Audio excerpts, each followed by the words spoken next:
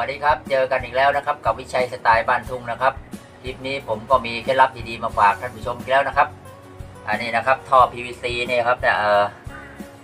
เออคือพอที่ผมใช้งานแล้วเนี่ยบางทีก็ตัดทิ้ง ตัดทิ้งเยอะแยะเลยนะครับเนี่ยใช้งานไม่ได้แล้ว แต่วันนี้เดี๋ยวผมจะมาเออสอนวิธีถอดท่อ PVC อ่าวิธีนี้อ่าทำให้ท่อท่อ PVC นี่ไม่ดำนะครับ แล้วก็ไม่ค่อยเสียรูปทรงเลยนะครับ อะเดี๋ยวเราไปดูกันเลยครับเดี๋ยวผมยาวสองอันเนี้ยไปไปทำนะครับ อันนี้นะครับ เดี๋ยว อันนี้ผมใช้วิธีต้มนะครับ เนี่ยน้ำน้ำเดือดแล้ว อันนี้ใส่ลงไปเลยนะครับ แล้วก็ให้สักประมาณสามสี่นาทีนะครับ ให้มันร้อนแล้วเดี๋ยวเราตักไปนะครับ อ่าเราก็ ต้มไปเรื่อยๆนะครับ อันนี้ยังได้ประมาณหนึ่งนาทีเองเนี่ยให้มันร้อน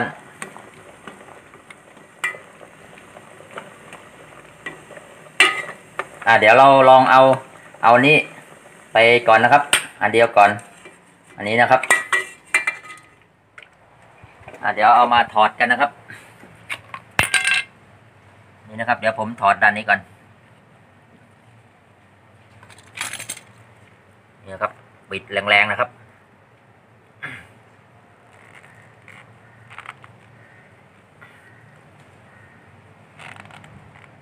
อันนี้ครับออกมาแล้ว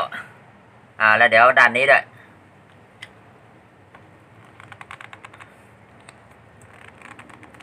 อ่าด้านนี้มันเหมือนข้างในจะติด เดี๋ยวผมใช้ตะกไลงัดข้างในก่อนนะครับ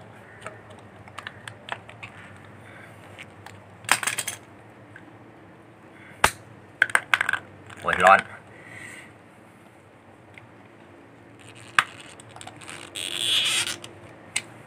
อันนี้นีไม่ค่อยถนัดนะครับ อ๋อ เดี๋ยวนีตรงนี้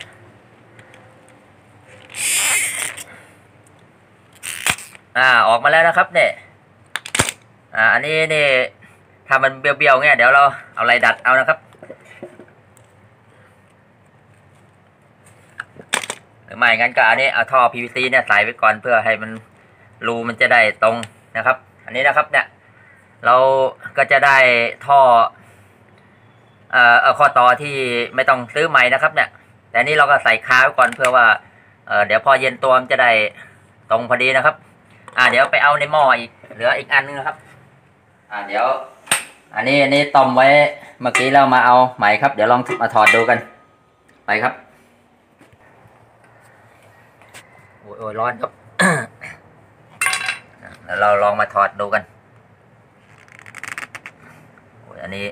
นี่จับค่อนข้างลื่นนะครับ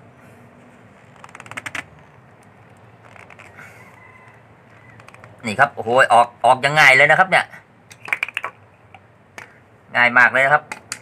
แล้วอันเนี้ยถ้าเราถ้ามันเบี้ยวเบี้ยวเราก็หาอะไรอุดไปก่อนแต่ว่า อันนี้อันนี้ไม่เบี้ยวนะครับ เนี่ยเออเออแล้วอันนี้ อันนี้เดี๋ยวผมลองใช้ไขควงงัดดู หุยมือจะพังครับ นี่ครับเนี่ยต้มแล้วใช้ดีมากเลย อ้าว นี่ ออกแล้วครับ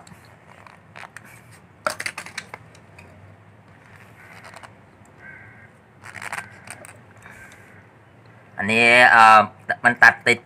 มันจะยากหน่อยนะครับ แต่ว่ามันก็ออก นี่ครับออกมาแล้วนี่นี่ครับเราจะได้ข้อต่อยังใช้การดีๆเลยนะครับเดี๋ยวเอาเมื่อกี้เมื่อกี้อยู่นะเอ๊ะอันเมื่อกี้ไปนะอ๋อนี่อ่านี่ครับเนี่ยเราจะได้ข้อต่อแบบไม่เสียรูปทรงนะครับ เนี่ย เพราะว่าถ้าเราไปลนไฟแบบเนี้ยเราตรงเนี้ยมันจะดำด้วยนะครับ ก็เป็นวิธีการที่ดีฝ่าการลนไฟนะครับ ก็ตอนแรกผมก็ใช้วิธีลนไฟแต่ว่าพอมาได้วิธีนี้ผมก็เลยลองต้มดูนะครับเนี่ยมีเท่าไรก็ถอดออกหมดนะครับ เนี่ยเห็นไหมครับเนี่ยทากาวแล้วมันกาวพอโดนความร้อนแล้วมันจะหล่อนนะครับ อ่าคลิปนี้ก็จบแล้วนะครับ ถ้าท่านผู้ชมชอบคลิปนี้ก็ช่วยกดไลค์กดแชร์กดติดตามให้ผมด้วยนะครับแล้วเจอกันใหม่คลิปหน้านะครับ สวัสดีครับ